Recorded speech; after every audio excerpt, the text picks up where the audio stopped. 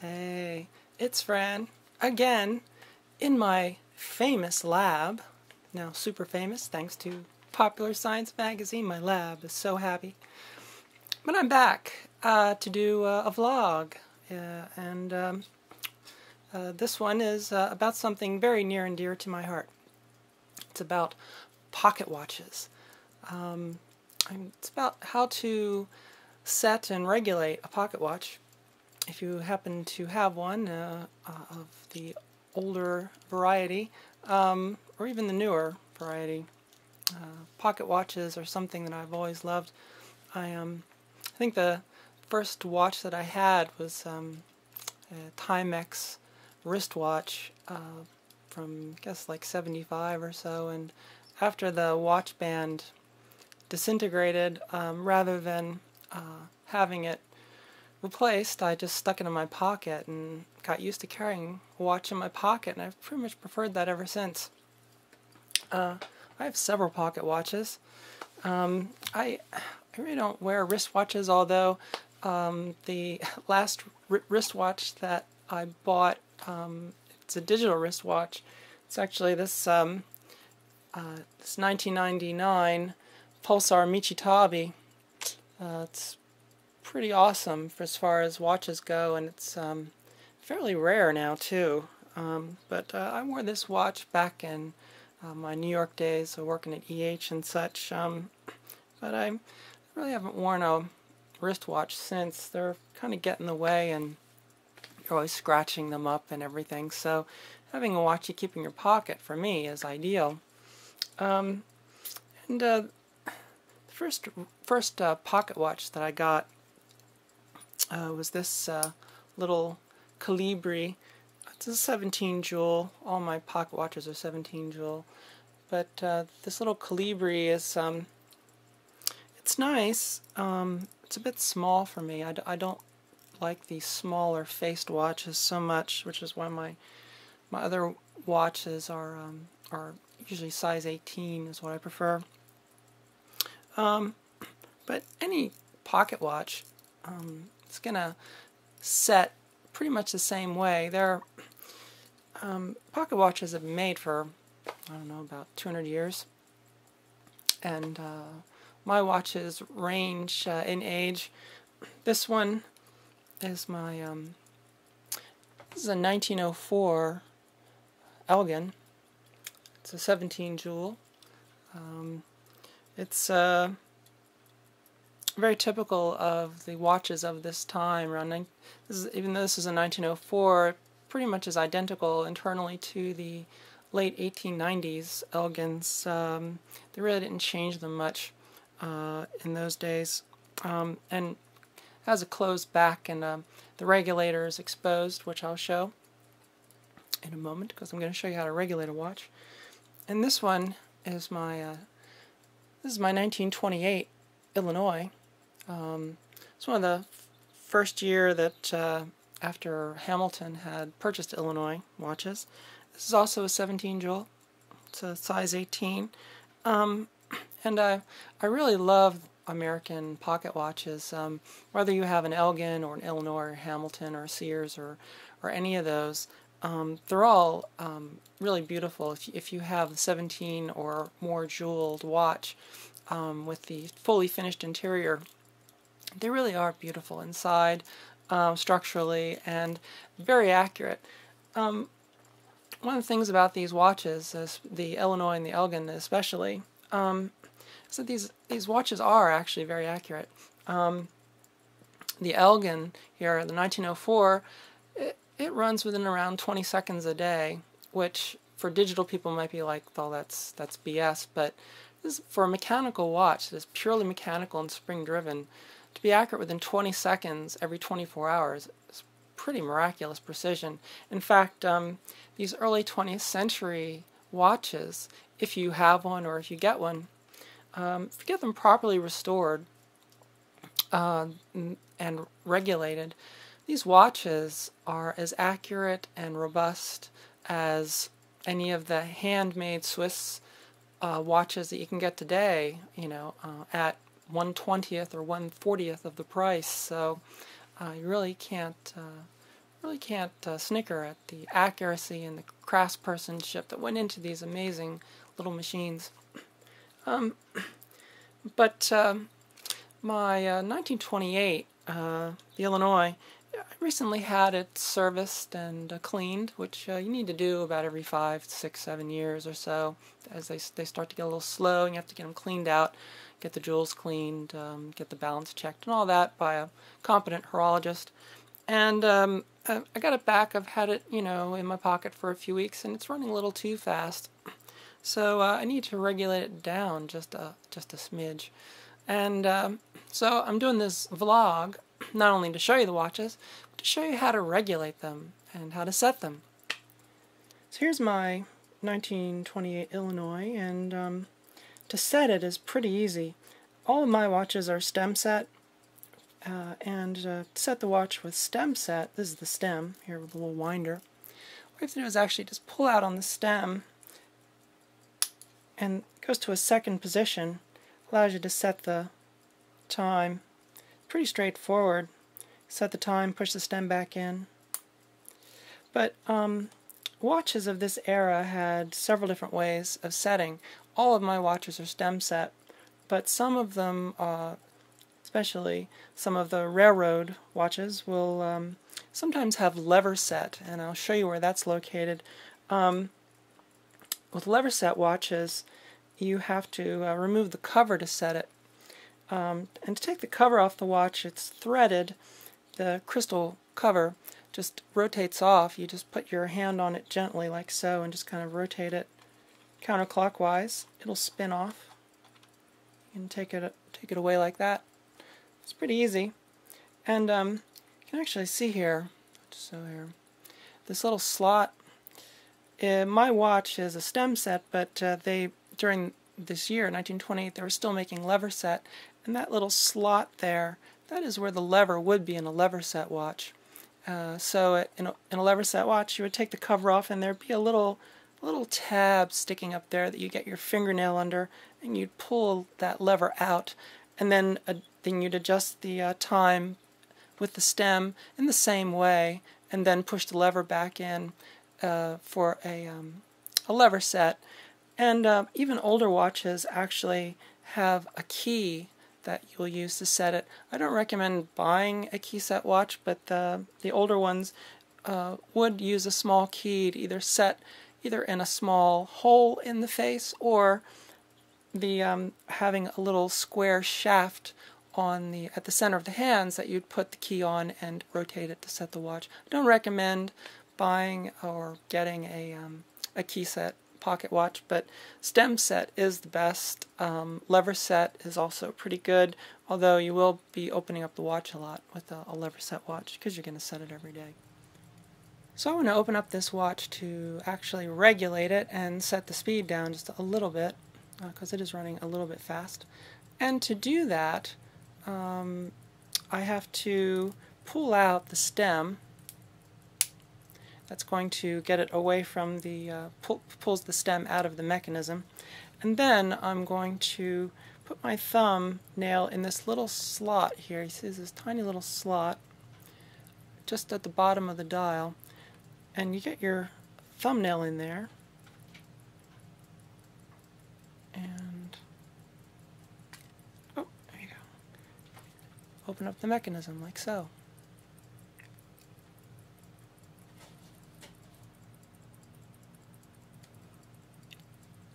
So, um, okay, so here's the inside of the watch. Isn't it pretty? Sure is pretty. And um, the watches of this era, the uh, 1930s era watches, are really beautiful because they have this skeletonized structure, whereas the older watches, like the I'll show you my 1904, are pretty much closed um, in the back uh, except for the regulator.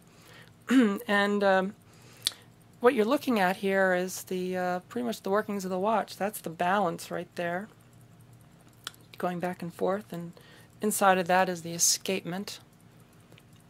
And uh, there's the spring barrel and the ratchet, which actually has the mainspring in it, and the winding gear. Uh, and the regulator is on top of the uh, balance, what they what would what be called the balance bridge. This little piece here, the balance bridge, and the regulator is right here. Um, it's very fine uh, control over the balance spring. The the balance wheel, which you see going back and forth in there, um, it has this very fine coiled spring attached to it that is um, attached to the balance on one side of the spring and attached to a little thing called the stud which um, is attached to the regulator on the other side and the principle of the speed of the watch, how if it goes faster or slower, is a matter of regulating this lever here, called the regulator, um, to move it a little bit more clockwise or a little bit more counterclockwise, which will either add a little more tension to that spring or take a little tension away from the spring, um, which will cause the watch to go a little bit faster or a little bit slower for every period of the balance. So mine is going just a tad fast, so I'm actually going to slow it down a little bit, which is going to require um, a, a little bit of finesse. Again, the close-up here of the microscope. This here, that's the regulator right there. And um, setting it clockwise, you'll speed up the watch. And setting it counterclockwise, you'll slow down the watch. You see this is really fine threaded screw here. That's holding the lever, the adjustment lever. And um, this particular watch has this little elegant spring here holding the lever against the set screw. But in order to slow it down, I'm going to turn that set screw very probably about a quarter of a turn, which is an imperceptible amount of distance for that lever to travel, but it really will make a noticeable difference in the time. It's running about um, about between a minute and two minutes fast a day, which is a lot. So what I'm going to do is I'm going to turn that tiny screw about a quarter of a turn, maybe about a quarter of a turn uh, counterclockwise to move the lever just very, very slightly to the slow end um, to slow down the period by a very small margin. And then I'll run the watch for a few days uh, and check the time.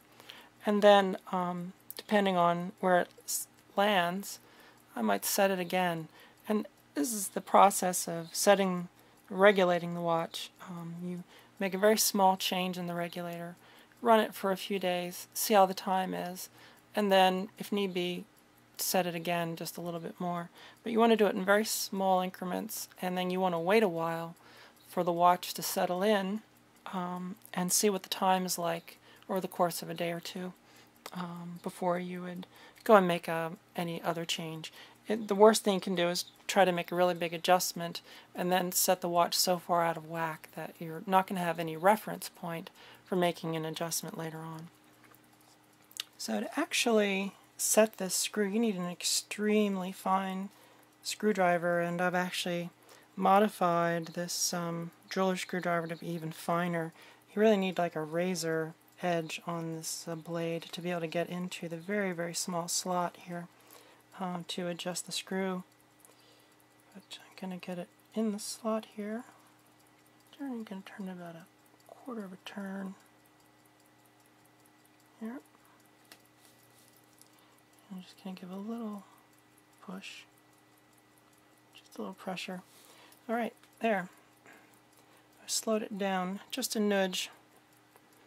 And, uh, yeah, isn't it pretty? These watches are really amazingly beautiful. Yeah.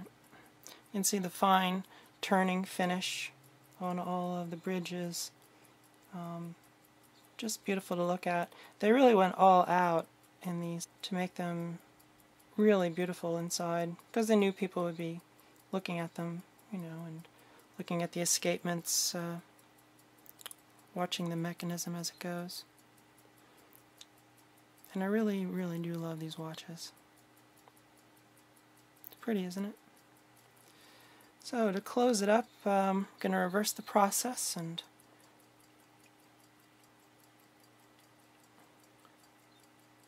give a little push. I yeah, turn the um, I turned the stem. The stem has got a little square-shaped um, shaft that fits into a square-shaped little uh, hole in the mechanism for the winder, and you just have to kind of wiggle that a little bit to get them to interface properly and give it a little push, snap in place, right? And I got to reset the time. So while the stem's out, let's see here, it's uh, reveal the time. It's about, what is it, 7.49, so wait for the second hand to get to 60, line it up with the right dot, and there. So now the what I've done is I waited for the second hand. The second hand you can't adjust in a watch like this, but um, when I'm setting the time for the hands to be in sync, wait for it to hit 60 and line up the minute hand over the proper dot and then all the hands will be uh, in sync. Yep, so there you go. And then just uh, put back the cover and uh, very gently turn to find the thread. And if you lay the watch flat like this in the hand, the thread threads will align just with gravity and just applying just a very gentle clockwise rotation threads will find each other. And then you don't want to make this tight, you just want to make it just a little firm. You, you don't you don't want the glass to um, to open up when it's in your pocket rolling around. But if you just make it a, a little firm touch, not tight, um, then the watch is going to be fine. Um, I'll give it a little wind here. Alright, so uh, we'll see how this uh, goes with the time over a few days. Uh, give you a close-up look of the 1904.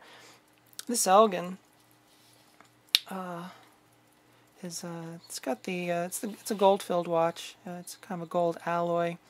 Uh, the Elgins are a little more elegant. You can see this watch is this 1904 is much larger than the Illinois. See that the uh, size of the watch is the thickness, size. It's also a lot heavier. Um, like I said, these uh, this 1904 watch uh, is essentially um, identical to the watches that were being made in the 1890s by Elgin.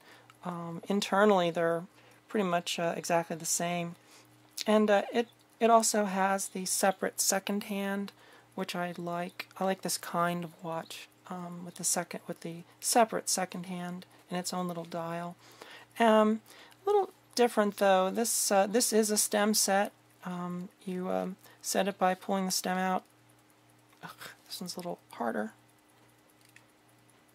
Okay, Whew, it's a little harder. Um, and you can adjust the watch. Um, but to get this one open, to regulate a watch uh, of this age, um, it doesn't actually open from the front. It doesn't have that flip-out type face like the uh, 1928 Illinois. This one actually opens in the back. So um, again, it's got it's threaded, so you have to um, put your hand on the back and apply just a, a gentle counterclockwise pressure, and it'll start to turn.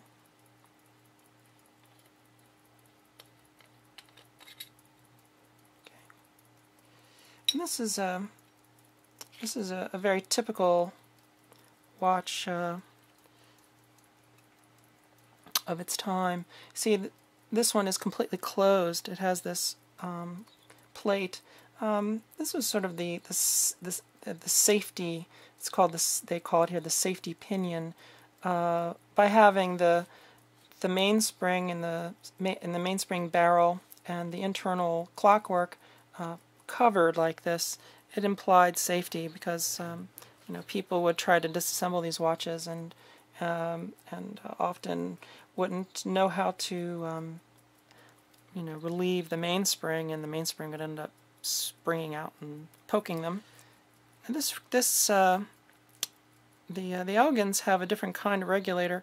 You can see there that the um, the the arm is actually held inside of a tiny little slotted nut and there's this curved threaded rod and that the nut spins on and with uh, Elgin watches you actually tumble that nut um, on the threaded rod to to move the, the lever faster or slower. Um, I really like these kind of regulators. They're they're very elegant, um, and they're also much easier to set. Uh, you just you know using a regular screwdriver, you can tumble that little uh, nut. It's got little knurls on it. You can tumble it pretty easily. These are very easy to regulate, although this watch I do not have to regulate because it is very very accurate right now. Um, but um, gives you a, a sense of the beauty inside of these uh, turn of the century watches. Um, like I said, the 1890s watches through the early uh, 19 aughts um, all have this sort of structure. And this is 17 jewel as well. Um, uh, you know, you can get 19, 21 jewel, but um, you know, I, honestly think that you know the accuracy of um, 17 is pretty much just as just as good in my opinion. IMO. So, yeah. But there you go, 1904. Uh, a watch that I carry many days. Still, still carrying this watch uh, in my pocket.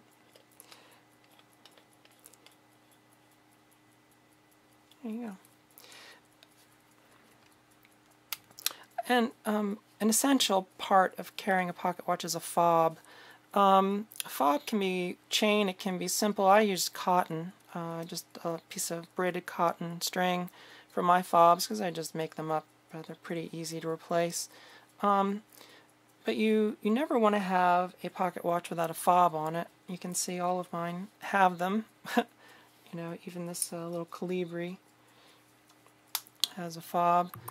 So the fob is basically just a piece of string about, you know, 18 inches, 14 inches long. The idea is that if you drop the watch that you don't drop it on the floor. That's what the fob is for. It saves your watch. You don't ever want to drop it. Um, and I've just got a little open loop on one end. Uh, and uh, so I just take the open loop and put it through a belt loop, like so, and then pass the watch through the loop and now the watch is attached to my belt. So when you put the watch in your pocket, see, pocket watch. So when you take the watch out, you take it out with the fob, and then it saves your watch. If it slips out of your hand, it's not going to hit the floor. It's just going to swing harmlessly, and then you can pick it up and put it back in your pocket again. Um, it's really the way to go. Watch fob. Watch beauty, huh? Well, so um, thanks for watching, and uh, you know, I'll be back again with uh, some other little vlogs from my famous Fran Lab. Uh, hopefully you've enjoyed this one and learned a little bit about pocket watches. I highly recommend picking one up. Um, not only is a pocket watch a piece of history and a unique artifact, um, but they will serve you very well um, and you'll get a lifetime of enjoyment out of a really good pocket watch. I'll put the um, contact information for my uh, horologist. Uh, his name is Paul Bubb. He's in Massachusetts, and he's uh, he's really excellent at uh, working on these um, turn of the century watches. He did an incredible job on my watch. So um, I, it's very hard to find a really good horologist, but if you do find one, uh, you've definitely um, got a very valuable uh, resource if you love um, very fine antique watches, as I do. So, okay. Well, I'll see you next time. I'm Fran. Bye.